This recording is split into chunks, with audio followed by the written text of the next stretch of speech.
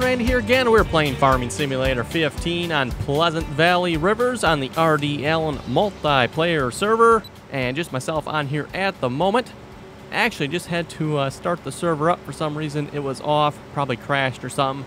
Not entirely sure when that happened, but server is back up here again, and we are harvesting canola. I'm assuming this is probably the uh, canola I planted last episode. Although being multiplayer server, you're never sure. It's like, it, did I plant this? Or did someone else plant it and already harvest what I planted? You never know. Yeah, this is the uh, first time I've been on the server this weekend so far. Been a busy weekend here so far for me, so not entirely sure what's all changed on the server in the last, uh, I'll just say two days.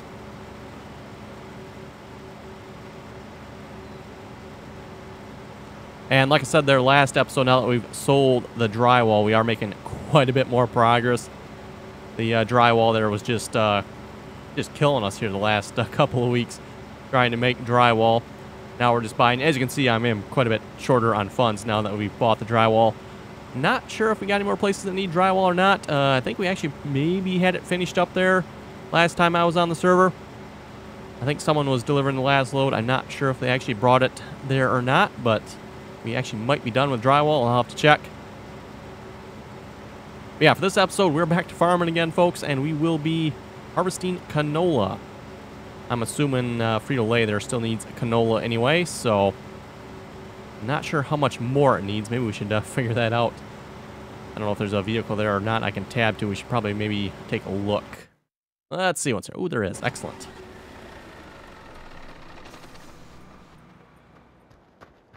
Yeah, typically we try to uh, stage vehicles at all the construction locations so we can just quick tab to them and uh, figure out what what at the uh, various construction sites. So, Frito-Lay, let's see, what do we got? Yes, we are still in need of canola. Looks like it has about half of it, so we probably need about another 200,000, not quite. Does it need more salt? Wow, that is a lot of salt. So that'll be a million salt. 400,000 potatoes, probably 400,000 canola as well. Yeah, definitely needs the uh, canola. Getting pretty close to having Frito-Lay finished here. And then, like I said, folks, once we get the factories done, uh, do we have anything over here? Oh, we do. This is PepsiCo. I think this one needed 100,000 drywall. I'm not sure if anybody delivered it here yet or not. Okay, we're back and joined by the trucker son. Oh, yeah. Okay, looks like someone did bring the rest of the drywall here. So I'm assuming it probably just needs time then again. need to wait for it to use up everything it has. And then go on to the uh, third stage. And the uh, third stage, folks, will be when it uses up. Or I shouldn't say uses up, but needs product to actually start producing. Oh, we should probably turn the combine on. Not sure what that product will be. We'll have to wait till we get to third stage. It doesn't need all the products. It just takes some of the, I don't know, probably some of the bigger products, and it will uh, request those. Okay, folks, we're back here again after another synchronization, and we're joined by Thomas. Uh, one thing I will have to say about the Pleasant Valley River server at the moment, it has definitely become a sinking, sinking sim. Oh, I could say that. A sinking sim. It's definitely getting longer to sink as we progress on the map here with more stuff, more vehicles, more, more of everything going on. Definitely you can tell it's taking longer to sink. I know when we first started the server here, it synced pretty quickly. But yeah, now it's definitely taking a while.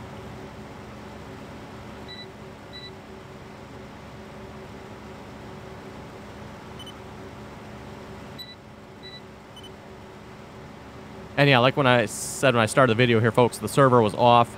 Not sure why that was. Probably something crashed. Don't know what, but no error messages, unfortunately. But, uh, folks, when you're trying to troubleshoot something, you know, to fix the problem, it is really annoying when you don't get error messages.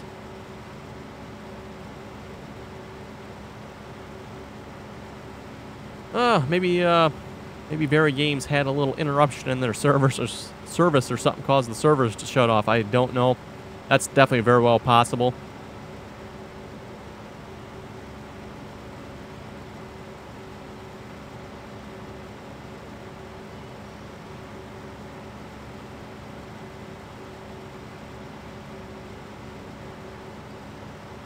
Uh, by the way, folks, this uh, John Deere S690i is the same combine, or at least I think it's the same combine, or same looking combine, maybe I should say, that we're using on Oklahoma, the John Deere S690i. Uh, this one does have, I think it's 29,950 or something like that for fill level. We'll see how much it actually is here once it's full, but holds uh, quite a bit more. Uh, like I said, for Oklahoma there, folks, I do have it, I'm trying to use it realistically, so the level is set at 14,100. Which is supposed to be the uh, realistic amount that a John Deere S690i combine can hold. Although this one technically might hold more because it looks like it has some sort of extended bin feature up here.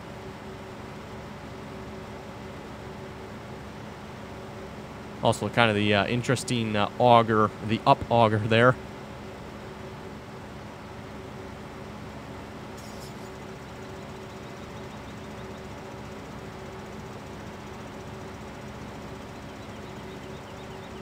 And folks, we'll see if we can uh, read a few comments here a moment. Or maybe it'll take more than a moment to read them. Who knows? Uh, Ality was asking, horses, what mod is that?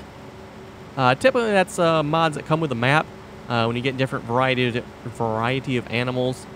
I'm not sure if you can get horses as a standalone mod or not.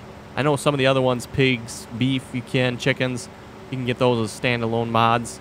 I'm not sure on the horses. I can't say I've seen it, but it's probably out there somewhere. But uh, typically, for the various animals, they typically come with the the map. That looks like looks like someone just uh, jackknifed a uh, truck and trailer there. It's actually real, really easy to do, folks, with that uh, particular setup there. The four trailers doesn't take much, and right away you've got them jackknifed.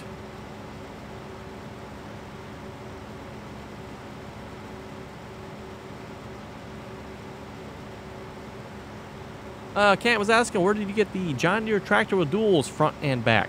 Uh, excellent question, because I technically have two John Deere, this is out in Oklahoma, by the way, two John Deere tractors with duals front and back, the 8370 and the 7310.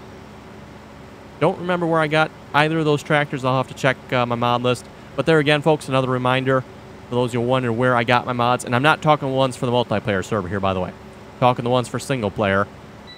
Well, and some of the multiplayer ones, too they kind of cross over. But uh, for single player, there is a mod list in the description of all my videos. Uh, you folks can look at that, and you should be able to find the uh, mods that I'm using. And for those of you that want to join the multiplayer server and need the mods, there is a link in the description as well for downloading just the mods you need to join the server. And there are uh, two links for that, like I've said it in the past. Uh, the first link, folks, will download all the mods. Uh, when you download all the mods, make sure you extract that file because it will download all the zipped mods in one zip. So you need to make sure you unzip that zip file. And then for those of you, there's also the download link that will take you to the download page where you can download the mods individually. Like I said, that's good if folks are maybe missing one or two mods or something like that. You can use that download link. And then there again, folks, there's the third download link. That is not for the mods that are on the server. That is a mod list. And you folks can you know, look through that if you're wondering where I got a particular mod.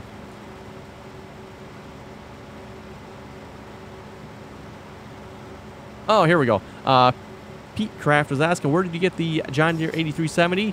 Uh, looks like I replied back to him. That is from ls15mods.com. So that's where I got the 8370. A lot of people uh, ask where I got that tractor from, by the way. And like I mentioned before, the 8370 probably becoming one of my favorite tractors. I rather like the 8R series John Deere tractors myself. And that one, at least in my opinion, is probably one of the better looking 83, or we'll just say 8R John Deere tractors, period. There's a lot of uh, John Deere 8R tractors out there, but um, just my opinion again, most of them don't look that great.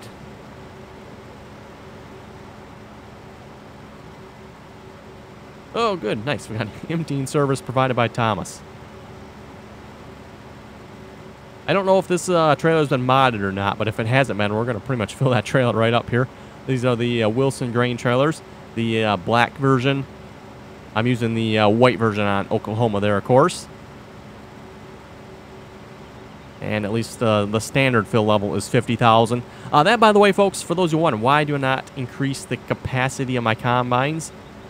That right there is the reason, folks. Because once you increase the capacity of your combines, well, then you almost have to increase the capacity of your trucks. Or if you're using grain carts, you almost need to increase the capacity of your grain cart and your truck. So I like to just leave them where they're hopefully realistically set at. I mean, give or take a little bit. I mean, if they're a little over, I'm not going to worry about it, or a little under, oh well. But this combine is clearly quite a bit over at, what, 29,000? Pretty much we'll say just well over double what it's actually supposed to be able to hold.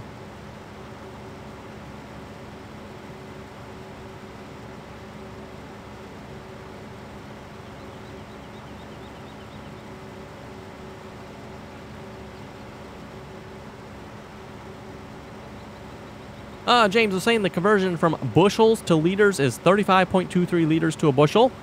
Uh, the Kinze 1050 holds 1,050 bushels. That's what I figured. Like I mentioned in the episode, folks, there, typically the numbers mean the bushel size. So when you get a Kinze 1050, typically that means it holds 10,500 bushels. Uh, Kinze 1300, 1,300 bushels, or 1,300 if you folks prefer that way. And then let's see what's there. Oh, he also says the uh, case harvester at 12,333 liters holds 350 bushels. The uh, John Deere at 14,100 is 400 bushels. So yes, this uh, combine realistically, folks, would hold 400 bushels. And that, by the way, folks, is no small number. That is a lot of crop.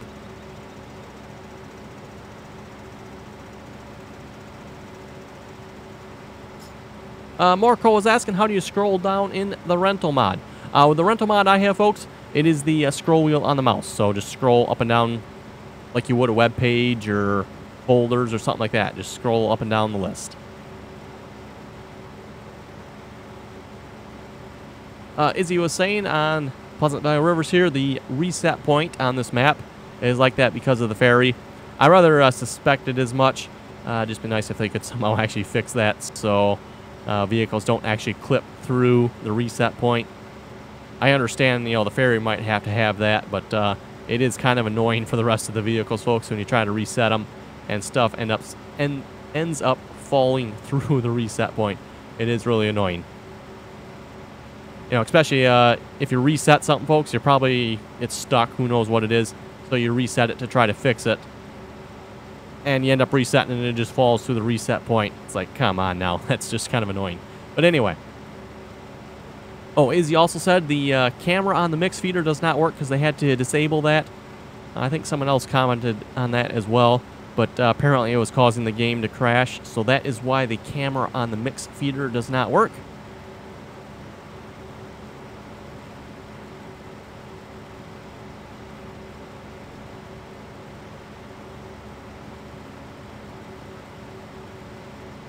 Uh, Op Marvel Master 101 says, I just went through the uh, state where you live. That's pretty cool.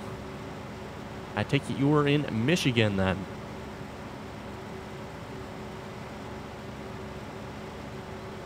Uh, Jake was saying the uh, John Deere grain cart is just a four-wheeled reskin of the in-game one.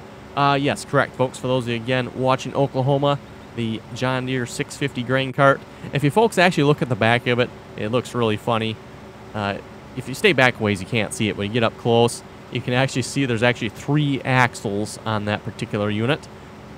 Uh, you got the two new ones that were added, and then you got the one in the middle for the original in-game grain cart. So actually, if we just stop here folks, so we can look at that grain cart. So yeah, the horse grain cart here, you can see it has single axle. Pretty much all they did for the uh, John Deere 650 grain cart and I don't know if the 650 actually looks like this or not. I have no idea. Probably not. But apparently they uh, just took off the tires here and put two new axles on it, and it now has you know four tires or dual axle instead of the uh, single axle. Uh, Samuel was saying you should get Field 13 next on Oklahoma. That is the biggest field on Oklahoma for those of you not familiar with that map. Definitely a really, really big field.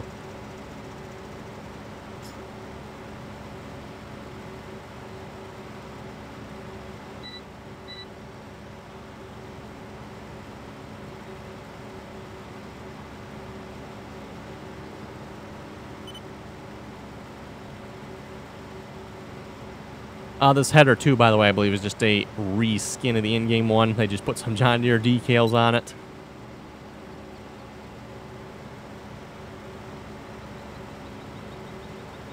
Maybe they uh, changed it up a little bit. I'm not sure. But like I said, pretty sure just a reskin of the in-game case header or New Holland header, the big 45 foot one. Uh, Farm Right was saying, hey, great videos. As a UK farmer, I love playing on the USA maps. Big fields, big roads, no hedges, and trees everywhere. And he also asked where I got the uh, 8370 from. And like I said a couple moments ago, apparently I got that from ls15mods.com. Yeah, I just thought it was kind of interesting. Someone from the UK commented and saying they liked playing on the USA-based map because it's wide open. And yeah, I don't know if you folks ever watch any of the uh, UK farmers. Uh, I know I've watched some of the uh, farming that's done in the UK, and he's right. It's like, wow, talk about tight, narrow, closed in hedges, trees. Hard to uh, get around if you ask me. Whereas, yeah, versus the USA, at least where I live anyway, typically it's pretty much wide open. There's really not a whole lot of tight places. I'm sure there is somewhere in places, but uh, for the most part, it's wide open. Get the uh, bigger equipment in and out. And there again, folks, that's something that has always amazed me. If you look at uh, some of the UK-based farmer channels on YouTube versus some of the US-based channels on YouTube, just a completely different farming technique between UK and US. So just kind of interesting to uh, see that.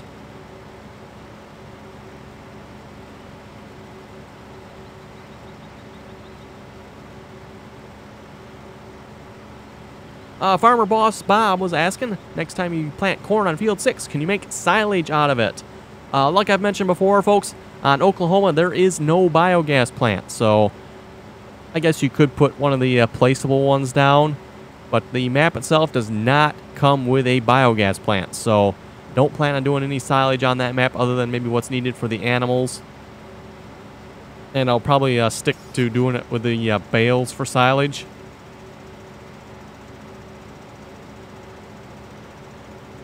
Uh, Farmer Boss Bob was also asking, can you please use just John Deere tools and equipment? Uh, some some people might have a problem with that if I use just John Deere. Uh, we're going pretty heavy with the uh, John Deere mods on Oklahoma already. And interesting enough, he's not the first person that has requested this. I have had a lot of people request go strictly John Deere for Oklahoma. Not sure why, but uh, yeah, we are definitely going quite heavy on the uh, John Deere so far. And I think probably the reason for that, folks, is John Deere equipment seems like there's more American-style John Deere equipment than maybe some of the other brands of tractors. That's just my theory on maybe why I'm going with John Deere. I don't know, but well, that and I probably like John Deere. That might have something to do with it.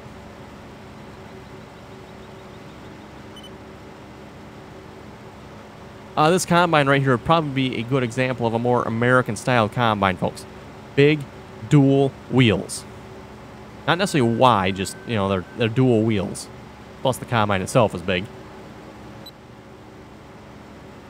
I mean, can you imagine getting this combine down the uh, road in UK, at least in some places. I imagine that probably wouldn't go too well. There's probably are some places in the UK you can get it down the roads, but uh, like I said, from the uh, some of the videos I've seen online of UK farmers, and I'm talking uh, real life farmers here, by the way, not just like UK-based farming sim maps. I'm talking real life UK farmers. Yeah, really narrow lanes. Imagine getting this combine down that. Wow.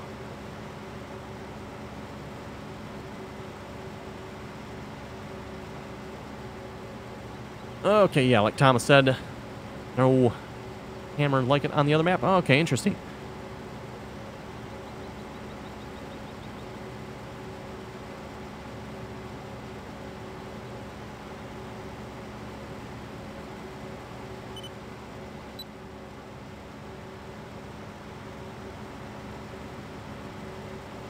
Uh, OP Marvel Master 101 was saying, I like this game, keep it up.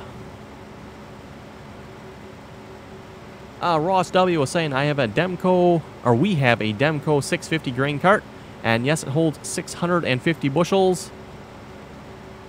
He also says our truck holds 700, and our biggest wagon is 600. That's kind of why I was saying, folks, uh, 650 bushels for a grain cart does not seem that big to me. I mean, it is a lot of crop. Whatever you're harvesting, it's going to be a lot. But uh, just seems like 650 does not seem like a lot. I know it's like some of your wagons and stuff can hold 600. I think they even, I'd like to say I've seen as big as a thousand bushel wagons. And I'm talking just normal, regular, like gravity wagons, folks.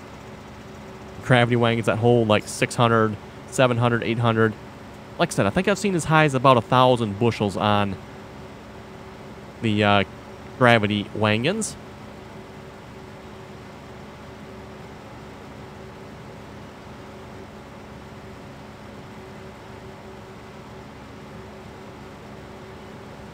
You know, there again, folks, there's another major difference between uh, U.S., U.K., maybe I should just say Europe, not necessarily U.K., but uh, if we go to tipper types, in the U.S. here, you typically see gravity wagons.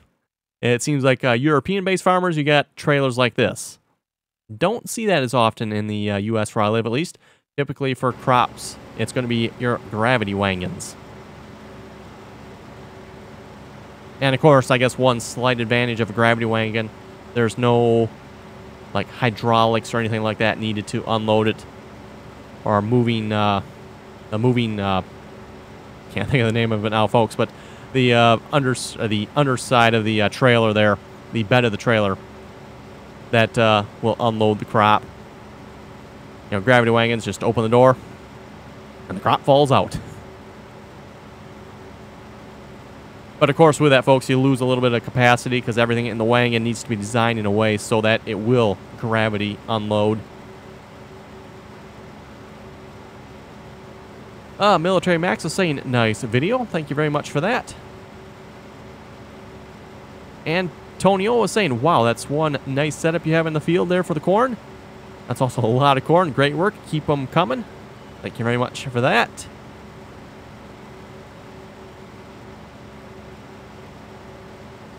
Uh, Peter was saying, do not do a time lapse for the corn. He likes seeing the uh, real time. Well, a little late. I've actually already done a time lapse. Or, I'm not really going to call it a time lapse, folks. I should probably really call it a high speed video. So I've already done a high speed video, and I've actually finished the uh, corn harvest on Oklahoma. Uh, field 6 is done. So we'll probably go over that next episode there on the Oklahoma map. But I did go ahead and finish it. Uh, pretty much after I finished the high-speed video, folks, it was pretty much getting dark out on the Oklahoma map. So I just finished it up off screen. Like I say, I typically don't like to record when the uh, game starts getting dark. Folks can't see as well, and yeah, you just end up... Just doesn't look as good in my opinion. So that's why typically you do not see a whole lot of nighttime work. And I'm going to say probably you don't see very much nighttime work for any YouTuber that uh, plays this game. Most of them are all recording during the uh, daylight hours of Farming Simulator.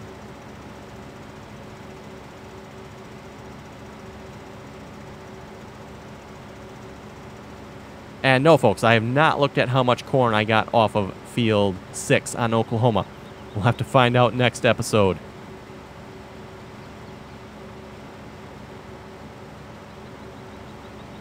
Exanis?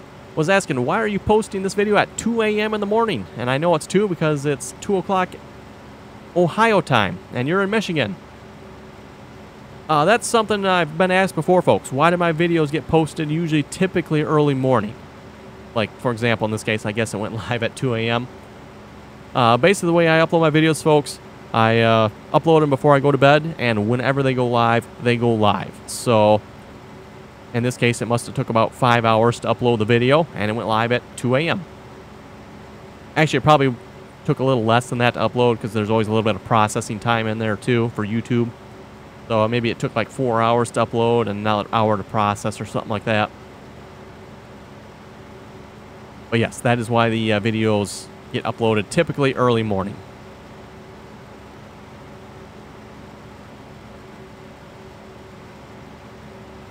I'm guessing Thomas is keeping up with the other combine over there too, if I had to guess.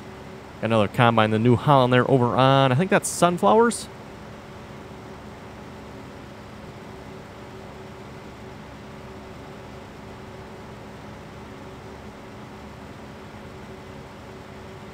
Uh, Cody was saying, did you know that the John Deere Overloader is just the same as the in-game one with different uh, skin and tires? And if you look between the wheels, you can see the frame for just the one tire. Yes, like I was mentioning earlier there, folks, it's actually three axles on that 650 grain cart, that John Deere.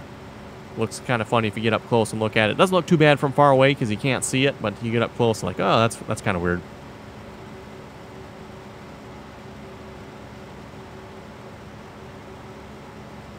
Uh, Mazda Bronco is asking, can you put a link to the wood chipper? Uh, he says the link in the description is broken. Not sure what he means by the link in the description is broken, but uh, the wood chipper he's talking about is the one we have on Pleasant Valley Rivers here. And that uh, particular wood chipper, folks, comes with the Pleasant Valley Rivers mod pack. So, folks want that chipper, you can get it from the Pleasant Valley Rivers mod pack. Uh, I believe it's just the Bruks version 2. Uh, unless something has changed with it, I'm not sure. Very well possible some changes have been made to it, but pretty sure for the most part it's just the uh, Bruks version 2. Like I say, it may have been modded further, but for the most part, that's what it is.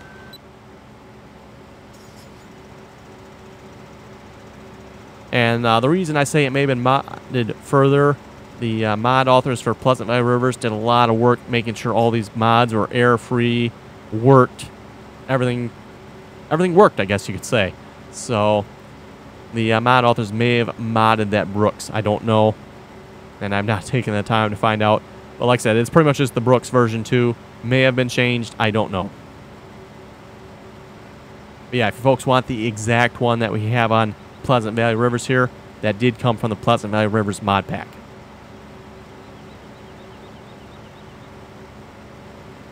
Oh, Kyle left a good comment here. Uh, does anybody hate it when there's a piece of John Deere equipment and then he uses a different tractor with it? So yes, he's talking about on uh, Pleasant Valley there, we were planting uh, canola and we had the uh, John Deere air seeder and I was pulling it, I think I was pulling, was that the Claas tractor I believe I was using? So, pretty sure there's a law against that somewhere, folks. You're not allowed to uh, pull a John Deere piece of equipment with anything other than a John Deere tractor. And that probably goes the same way. You're probably not allowed to pull uh, anything other than John Deere equipment behind a John Deere tractor.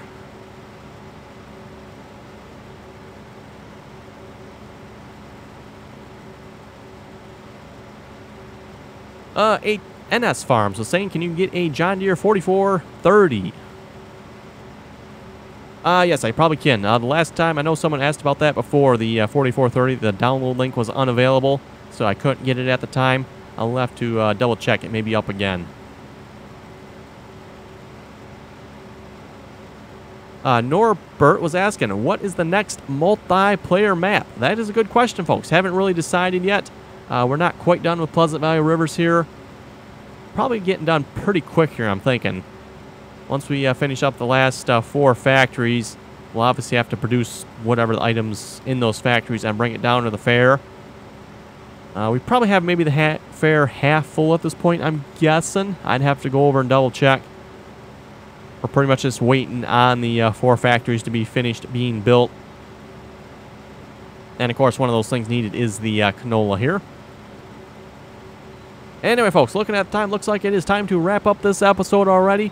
So uh, just a reminder again, for those of you wondering, single player, where I get my mods from, there is a mod list in the description below. For those of you wanting to join the multiplayer server, there are two download links in the description below. The first download link will download all the mods needed to join the server. Make sure you unzip that or extract it. And then the uh, second download link will take you to the server download page where you can download mods individually. There's also a link on that page, by the way, to download all the mods as well. And then also, just a reminder again, folks, we do have a TeamSpeak server. And being that this is Pleasant Valley Rivers with a lot going on, I highly, highly suggest you folks, if you're playing on the multiplayer server, hop on TeamSpeak so we can uh, communicate with you. Makes it a lot easier to uh, tell you folks what's going on. I know a lot of people get on, hop, hey, what can I do? How can I help? Kind of hard to explain how to help folks if you're not on TeamSpeak because there's just so much more than just farming on this map. You know, I know we can, you know, open up the chat here. Oh, you know, go combine field, whatever. That's fairly easy to uh, explain. But uh, when you're trying to explain to people, you know, how to uh, maybe haul concrete or how to make how to make something, it's a lot harder to do with the uh, chat. A lot easier if you folks just hop on TeamSpeak and we communicate with you that way. Also, I do get asked, when am I typically on the server? I am typically, folks, uh, later at night, Eastern Standard Time, uh, 7 to 9 o'clock usually. That's when I try to be on. Not always, but that is typically when I'll try to be on. And then during the weekend, I'm usually on all random times. Although not this weekend because it was kind of busy. So, anyway, folks, we better wrap it up there. If folks have any comments or questions, be sure to leave them below. And as always, thanks for watching and till next time.